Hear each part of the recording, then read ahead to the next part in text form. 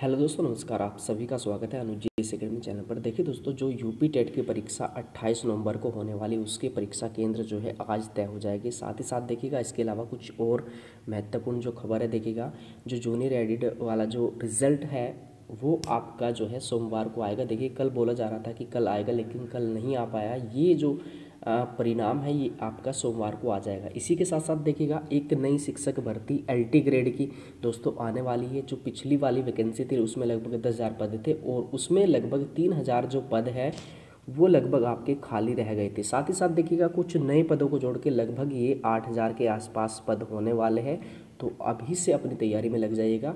और देखिएगा, रही बात आपकी प्राइमरी शिक्षक भर्ती की, ये तो आनी तय है, ये देखिएगा जैसे कि जो है आपका टेट की जो परीक्षा है, उसका बिल्कुल जो उन्होंने आपकी पहले जो तिथि निर्धारित की थी, उसी के अकॉर्डिंग पूरा जो है कार्य चल रहा है। तो इसको देखते हुए देखिएगा, और इसका रिज़ल्ट भी देखिएगा, जल्दी ही आपका आएगा, आपका जो यूपी टेट की परीक्षा है 28 नवंबर को। उसके बाद देखिएगा, एक जो प्राथमिक शिक्षक भर्ती आनी तो तय है। देखिएगा इसके लिए भी अपनी तैयारी रखें। रही बात आपकी परीक्षा की तो ये परीक्षा चाहे पहले हो जाए, चाहे बाद में हो जाए तो आप जो है तैयार रहिएगा एल ग्रेड शिक्षक भर्ती के लिए और आप प्राथमिक शिक्षक भर्ती के लिए।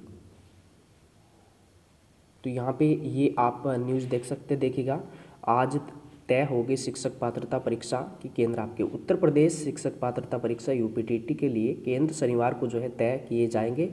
इसके पहले उत्तर प्रदेश परीक्षा नियामक प्राधिकारी सचिव ने सभी जिला विद्यालय निरीक्षकों से परीक्षा केंद्र निर्धारित कर सूची मांगी थी। इसमें कुछ जिलों ने आज जो है सूची उपलब्ध कराई, जिसके कारण परीक्षा केंद्रों का निर्धारण अभी नहीं हो सका। इस परीक्षा में देखेगा शामिल होने वालों होने के लिए लगभग इक्कीस लाख बासठ हज़ार अभ्यर्थियों ने आवेदन किया। इसमें प्राथमिक एवं उच्च प्राथमिक स्तर के परीक्षार्थी शामिल हैं। और ये जो परीक्षा अट्ठाईस नवंबर को होगी, दो पालियों में होगी और इसमें जो पहली पाली होगी, उसमें आपका जो प्राइमरी का पेपर होगा और जो सेकंड पाली होगी उसमें आपका जूनियर का पेपर होगा। और इसमें देखिएगा, लगभग आठ लाख दस हज़ार दो सौ एक अभ्यर्थी ऐसे जिन्होंने प्राथमिक और उच्च प्राथमिक दोनों स्तर की परीक्षा में जो है शामिल होने के लिए आवेदन किया है।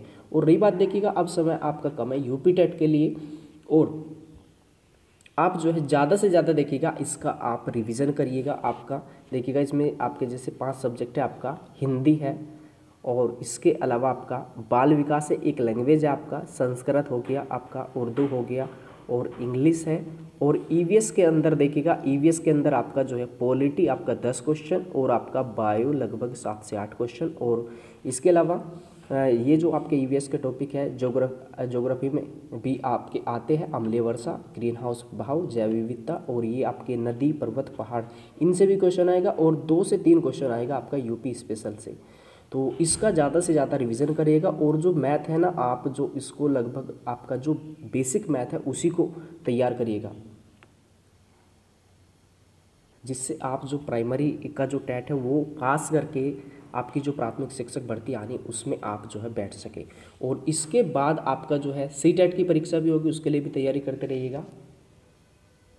तो चलिएगा दोस्तों, और रही बात आपकी एल टी ग्रेड शिक्षक भर्ती की तो इसका जो सिलेबस है, सभी सब्जेक्ट का वो जो है चैनल पे पहले ही अपलोड किया जा चुका है तो आप उसको भी देख सकते हैं।